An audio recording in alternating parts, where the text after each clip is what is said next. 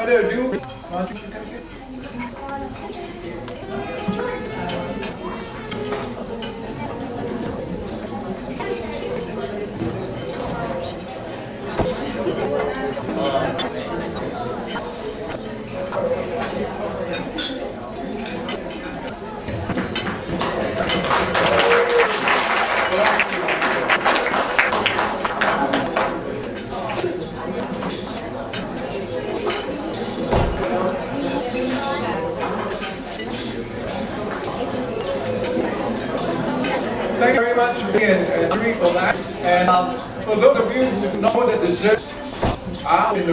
It is not the way that together with So please uh, feel free to yourself to it. Uh, we will resume the second half of throw show after. So please enjoy it. Thank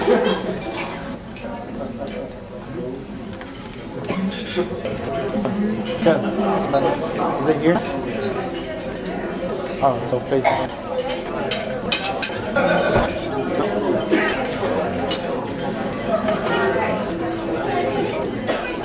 Uh,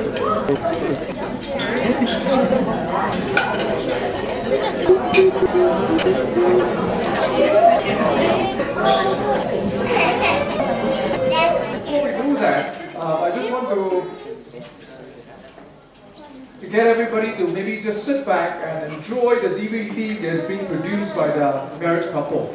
What I what I gave you earlier at 6.30 was the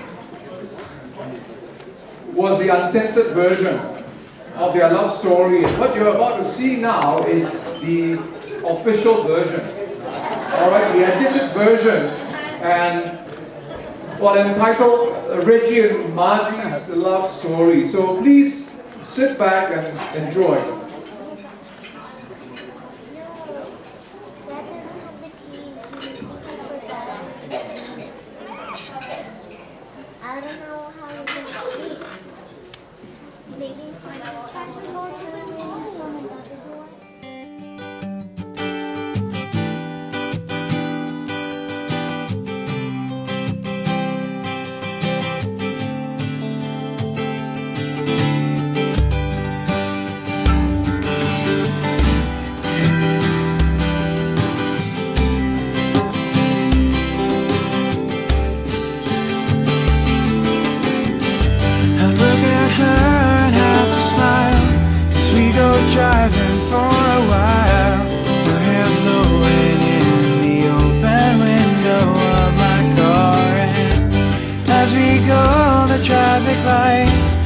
flash and glimmer in her eyes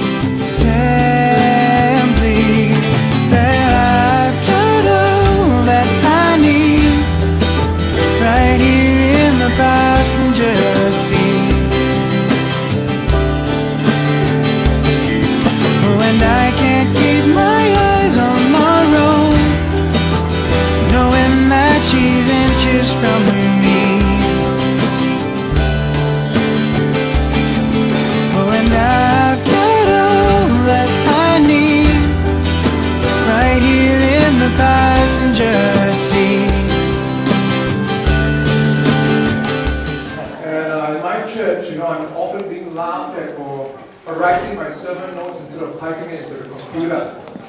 But this is why I'm still writing them. Alright, because computers can fail you. But your hands can always be in motion. Amen? Amen. Well, uh, whilst they are trying to work out the, how to work the, the DVD, I, I'll just change the sequence of events a little bit by just inviting uh, Pastor Mike and uh, his lovely wife Gina to come up here and tell you guys a little story of how Reggie and Margie uh, came to their church and how they met the Lord. Pastor Mike.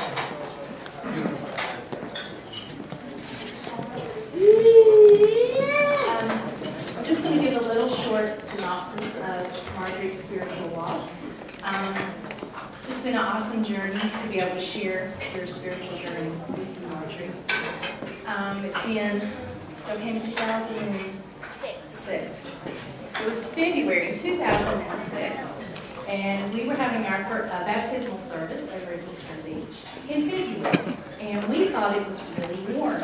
And the first time I met Marjorie, I knew she was new from the Philippines, but she had on a heavy coat, a scarf, and was sitting there about to freeze. so I was like, oh, she's fresh from the Philippines. She's so cold. And we thought it was hot because it's our summer. Um, but going back, before she came, we were having ladies Bible study, and her auntie Vivian had been praying for you, and we've been praying for you, Reggie, in our Bible study. So long before I met you, we were praying for you. And then you started coming to church occasionally, and you and Reggie would come. And then on Father's Day of that year, you came, and you trusted the Lord as your Savior. And it's just been an awesome journey ever since then um, to watch Marjorie grow. She started coming to our ladies' Bible study, and we were studying the Proverbs 31 woman. And there was a lot of things in there she was really struggling with. and then um, she was wanting to know how to be a godly wife and what she could do. And so Mike and I started meeting with her and Reggie one-on-one. And she would sit there and she say, Miss Gina, Reggie needs to do this. Reggie needs to change this. Reggie this. And I said, Marjorie, let's stop and let's see what the Lord wants you to do. I said, before Reggie can change, I said, the Lord's got to change your heart and work in your life. So she said, I'll try. And she did. She was so willing. And all the Lord needed was a willing heart. And He has molded her and He has shaped her in such a beautiful way. And one of the things as a young believer that I saw in her was going to be her faithfulness to the Lord. And she has been so faithful. She got a job working for McDonald's. And she had the night shift on Saturday night. And I, we told her, said, now Marjorie, that's going to be so hard. You won't be able to come to church on Sundays. She said, no, Miss Gina, I'll be there. She got off work at 7 o'clock Sunday morning after working all night. She was at church every Sunday morning. She never missed a Sunday morning. And I was so touched by that. And the Lord has blessed her for her faithfulness. And just to see the beauty of their marriage is just such a blessing, Marjorie. Thank you for sharing that with us. Well, Reggie and Marjorie, you've been so special in our lives. Our church, when we very first began as uh, Seven Oaks Baptist Church, we were, just as Gina said, only about 25 or 30 people. And on that Sunday morning when we had the baptism, and that was the very first Sunday we had met Marjorie, we had known Reggie, uh, oh, been praying for Reggie for, for quite some time. And uh, that Sunday morning when we met them, then we didn't think, well, we, we won't see them too much around. But one day, Tim Henning and I, we were having lunch at Nando's. And there we saw Reggie and Marjorie sitting right across from where we were. And Tiz and I, we said, let's go over and talk. That's, that's Reggie, and that's, that's his new bride, Marjorie. They haven't been here long. We went over and we began to talk to them. And it was just before Father's Day. And I said, why don't, why don't you guys come to church with us this Sunday? I said, it's Father's Day. We have a special Father's Day message. And no more did I say that when Marjorie's elbow goes into Reggie's side. She says, you're going. We're going to go. You're going to learn how to be a good father. And I thought, oh boy, this is this is going to be good. And they came that Sunday, and that's the Sunday that the Lord began speaking to Marjorie's heart and to Reggie's at the same time. And it wasn't too long after that, after Marjorie had trusted the Lord and Reggie had rededicated himself, Marjorie came up and she wanted to be baptized. Now that's a special time for us when we were just a small group because we would go to the beach for the baptismal. And Marjorie's, Marjorie's the only person that I've ever really baptized twice in the same dunking. Because what happened was, as Marjorie went down under the water, she didn't quite go all the way, and she was coming back up. So with her mouth open and eyes, I dunked her again. and this time when she came up, she had that same elbow, but this time it went into my side. and she says, I'm going to get you for that. and so Marjorie, I apologize for that, but you're, you're baptized. Saved and baptized, and that's the way it ought to be. And the Lord really has done a, a great work in their lives and in their hearts. We have enjoyed the times that we've had Bible studies, the times that we have just been able to sit down together as a husband and wife, and as a husband and wife, sit down and talk and pray and study the Lord's Word. And you know, Reggie and Marjorie, I see the Lord working in your life. I challenge you, put that very same thing back into another couple.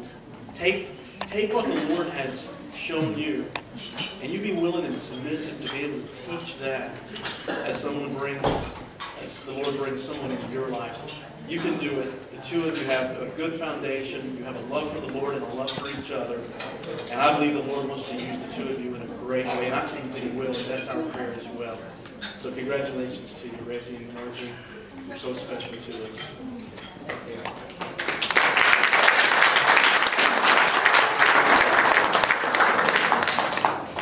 Thank you, Pastor Mike and, and Gina. Uh, it's not good news when you see me here again. And I'm thinking very hard to say something intelligent, so funny, uh, whilst waiting for the computer setup. Uh, how about another sermon?